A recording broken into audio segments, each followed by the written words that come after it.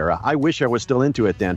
Then I got into WWE in, in the the like about 2016, 2017, and then it got started getting stale. But then along comes AEW, and I'm all about All Elite. Oh my God! Oh man, you're I, all I, in. I blast. I'm all in, man. Oh, man I, I, follow a lot of the wrestlers, and a lot of them follow me now. Chris Jericho started following me today, and wow. I've been blasting on tw- on Twitter back and forth with them, trying to get them to pay attention. It's like, hey, I'm Dragon Ball Z narrator. I'd love to voice something for AEW.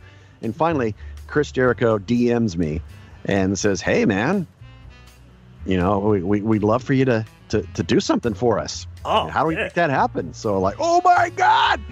Not oh, only man. did he retweet me doing the Judas challenge, for those listening, Judas is his intro theme that his band Fozzy did and he put on uh, this past Wednesday on AEW Dynamite on the